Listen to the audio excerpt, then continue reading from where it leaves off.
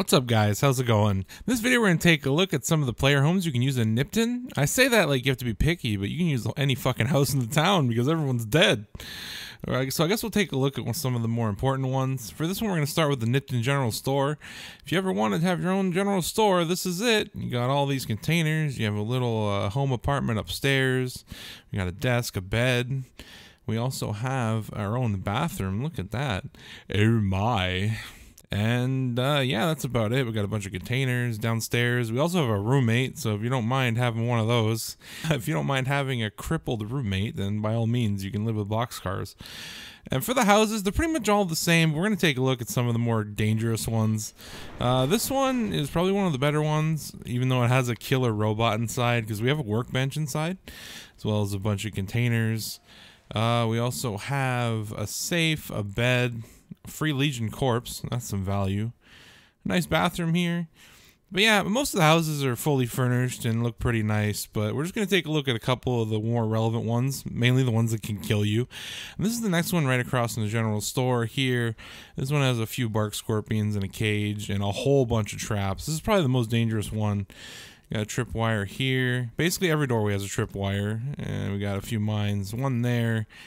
Uh, got a bunch of containers in here, as you can see. We got one in the bathroom. There's also another one in the kitchen, which we'll take a look at here, as, as well as two rig shotguns. And oh god, the scorpions are out. They can let themselves out, so you gotta be careful of that. And we got one here. Let's see the barrel there. And there is the other trip wire, which triggers the frag mine over here. But yeah, there we go. Once you clear this out, this can be a perfectly fine home. None of the enemies in any of the buildings ever respawn. So the only enemies that respawn in Nipton are the three bark scorpions, or three or four, I think it's three, that live in the trailer park. Anyway, moving on, we're going to take a look at one of the largest places you can claim here is the Nipton Town Hall. I do not think there is a single bed in here, unfortunately, but we have all this room.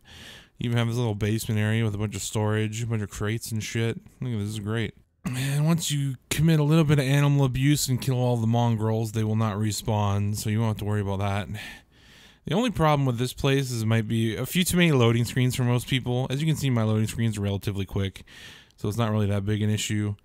Uh, especially since the probably the best place is on the top floor in the mayor's office. If you ever wanted to be mayor of a completely wiped out town, I guess now's your chance. Uh, which door is it? Not that one. This one. Here we go. Maybe the one that says mayor. Big brain.